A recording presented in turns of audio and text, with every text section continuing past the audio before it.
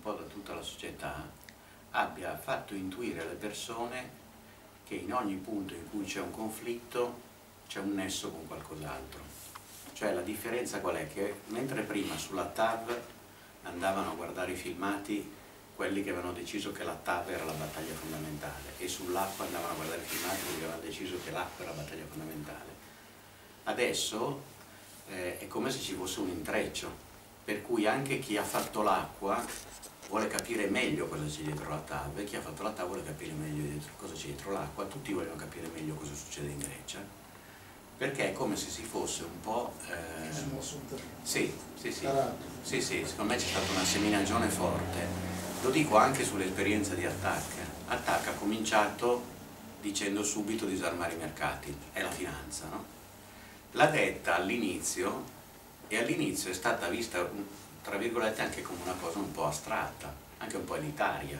Io ricordo Genova, no? nonostante poi è partita la campagna Tobin Tax che è andata bene, e ha raccolto le firme, però mentre tutti pensavano allo scontro con il WTO, lo scontro con eh, il G8, scontro, noi dicevamo disarmare i mercati, la finanza e tutti dicevano quelli di attacco hanno ragione ma stanno sulle nuvole, no? perché la battaglia è questa qui, è vertice, è quando poi noi abbiamo invece a un certo punto declinato lo stesso processo però partendo dai beni comuni, cioè quando ci siamo resi conto che in realtà la finanza aveva invaso la vita delle persone, per cui tutto era finanziarizzato e quindi lì è partita la battaglia dell'acqua, dei beni comuni eccetera, il risultato finale è che oggi siamo arrivati che tutti dicono finanza, ma ci sono arrivati attraverso un processo concreto e reale cioè non sono arrivati perché noi gli abbiamo detto finanza, ci sono arrivati perché hanno sperimentato per anni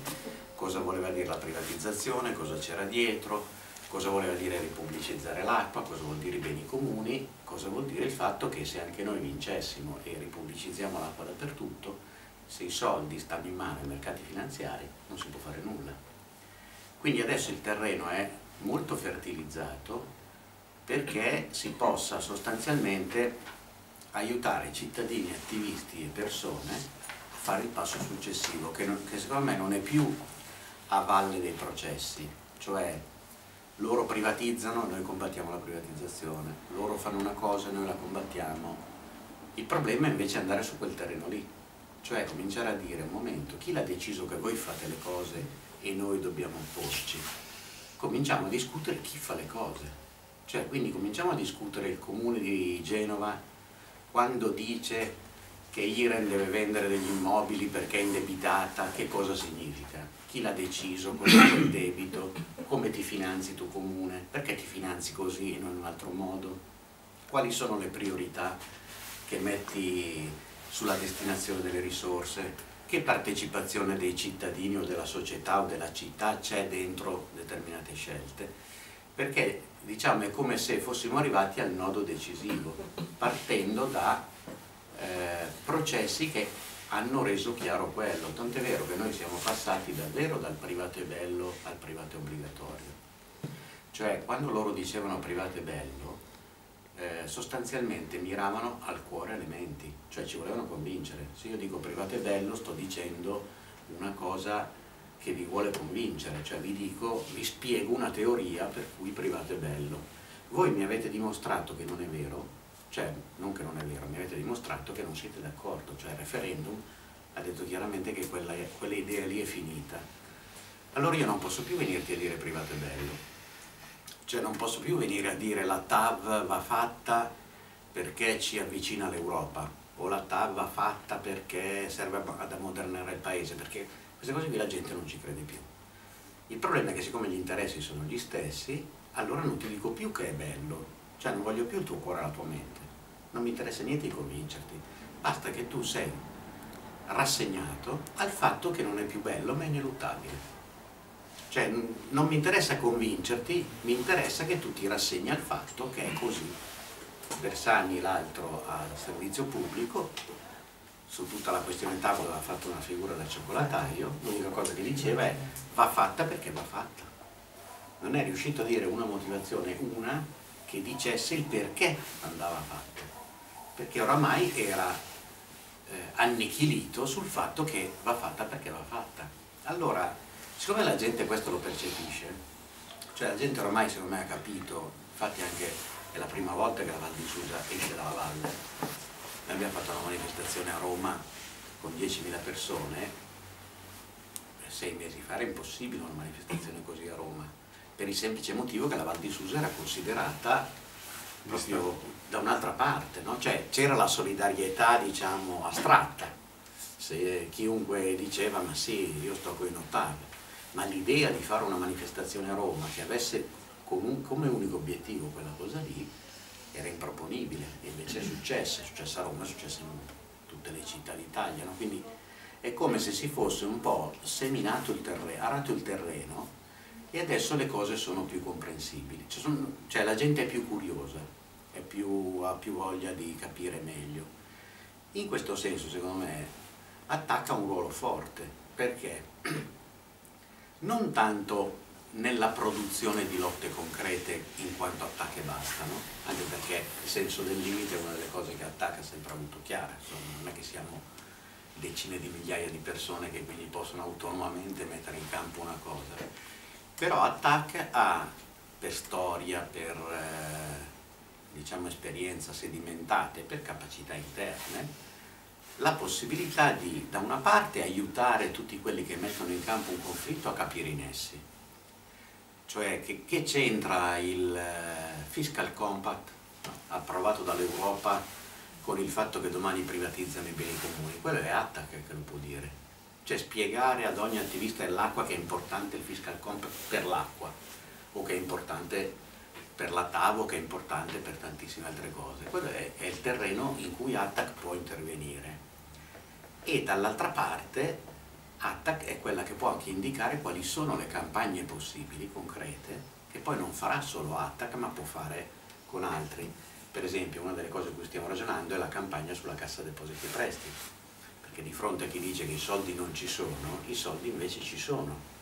E allora lì c'è tutto un ragionamento possibile su cui stiamo lavorando e poi ne discuteremo anche nell'Assemblea nazionale che faremo a fine marzo, per costruire una campagna che abbia sostanzialmente lo stesso stile di quella dell'acqua, ovviamente che inizierà con una marcia come è stata quella dell'acqua all'inizio, perché non è un tema immediato, non è un tema che tutti comprendono, però ha una dimensione gigantesca perché sono 12 milioni di persone in questo paese che mettono i loro risparmi sui libretti postali, i buoni fruttiferi postali.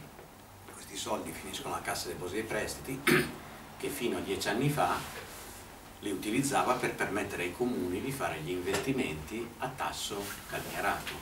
Da dieci anni a questa parte questo non succede più, i comuni si sono infilati a indebitarsi con i titoli tossici dentro i mercati finanziari. Quindi lì c'è tutta una partita da giocare che tra l'altro può coinvolgere anche il singolo cittadino, perché una delle poss possibilità è quella di costituire comitati di prestatori, cioè di persone che mettono i risparmi in posta che cominciano a fare pressioni perché i loro soldi vengano utilizzati per il territorio e con alcuni vincoli sociali e ambientali. Adesso dico delle cose a voce alta, ma per dare l'esempio. No? Cioè anche lì va trovato, secondo me, la campagna che ha degli strumenti precisi, quindi che permette al cittadino che sta qua fuori, se io gli dico guarda domani puoi fare questo, lui ha la risposta. E che nello stesso tempo però aiuta tutti qualsiasi lotta stiano facendo, a capire che quello è un nodo centrale, quello delle risorse, della finanza, della finanza pubblica, della gestione partecipativa. Cioè secondo me la strada è un po' quella lì e ATTAC ci riesce se tiene insieme le due parti della sua azione, che sono l'autoformazione e l'azione. Se noi ci fermiamo all'autoformazione diventiamo un centro studi presuntuoso, elitario, che poi parlerà senza che nessuno lo ascolta. Se facciamo solo l'azione, perdiamo l'elemento fondamentale che aiuta a comprendere l'azione. Cioè, adesso uso il tuo esempio, la campagna sull'articolo 18 la fa molto meglio la FIOM che ATTAC. Nel senso, è chiaro che noi siamo solidali con quella campagna, no? ma non c'è bisogno di ATTAC perché sia decisiva la campagna sull'articolo 18. Perché c'è già chi, per storia, cultura, eh, forza, capacità, la può fare con Attack e dice certo noi stiamo con voi, ci mancherebbe. Attack può aiutare intanto a capire cosa c'entra l'articolo 18 con eh, la politica della Banca Centrale Europea con, e quindi aiutare chi fa quella lotta a capire qualcosa di più dei nessi.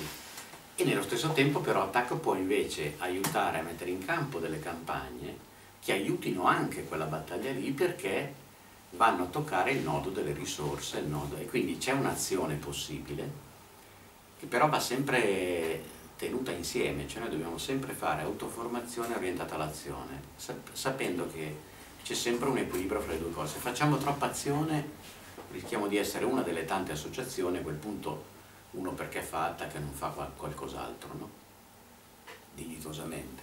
Se facciamo solo l'autoformazione, secondo me rischiamo di perdere il senso delle cose in cui stiamo, no? quindi io sono d'accordo anche con te quando dici poi tra l'altro la formazione anche, si fa anche sul campo, no? cioè, gli attivisti dell'acqua sono diventati tutte persone sapienti facendo le battaglie dell'acqua, non facendo i seminari. I seminari sono utili quando facendo la battaglia a un certo punto io capisco delle cose e ho bisogno di approfondirle, no?